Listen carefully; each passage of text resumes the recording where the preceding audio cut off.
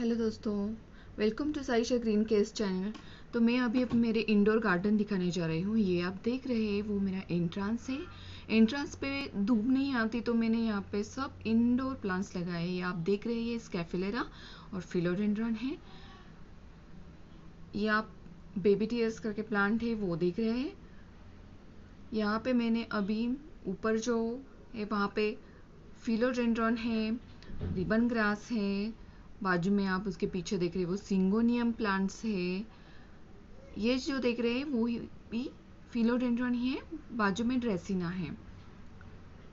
और दो hanging pots लगाए हैं उसमें मैंने वेरीगेटेड जेड प्लांट लगाया है जो बहुत ही सुंदर दिखता है। वो स्टडी प्लांट है उसको ज़्यादा पानी नहीं लगता और दिखने में भी, भी बहुत सुंदर है और बाजू में मैंने बेबी टीयर्स का प्लांट लगाया है। ये आप देख सकते हैं इसके पत्ते कितने सुंदर हैं। ये भी इसको भी मेंटेनेंस कम है। ये अभी हॉल में आप देख रहे हैं मेरा प्लांट तो इसको जीजी कहते हैं। बहुत ही स्टडी प्लांट है एवरग्रीन है। मोस्ट ऑफ़ प्लांट्स तो इंडोर रहते वो एवरग्रीन नहीं रहते हैं। अभी आप देख रहे हैं वो किचन में आ, मैंने लगाया है जो पार्टीशन रहता है वहाँ पे मैंने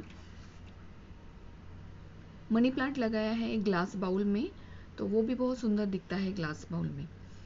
अभी आप देखेंगे वो मेरे हॉल में मैंने टू टाइप्स के मनी प्लांट लगाए, एक वेरीगेटेड है, एक मार्बल मनी प्लांट है और एक प्लेन मनी प्लांट है और उसके नीचे देख रहे हैं आप रिबन ग्रास है ग्रीन रिबन ग्रास और मिनी पाम आप देख सकते हैं।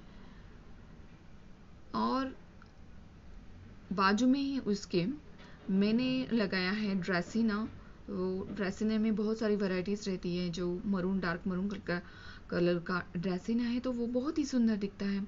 और एक प्लांट है हॉल में फ़र्न तो मुझे फ़र्न बहुत अच्छे लगते हैं तो क्योंकि उनका टेक्सचर लीफ का बहुत ही सुंदर रहता है तो और लुक भी बहुत सुंदर रहता है फ्लरिश एकदम लगते हैं, बहुत ग्रीन दिखते हैं. और मैंने बेडरूम में दिख सकते हैं आप कि स्नेक प्लांट लगाया है, वो मेरे कैबिनेट में है. आई होप कि आपको ये वीडियो पसंद आए तो please like subscribe and share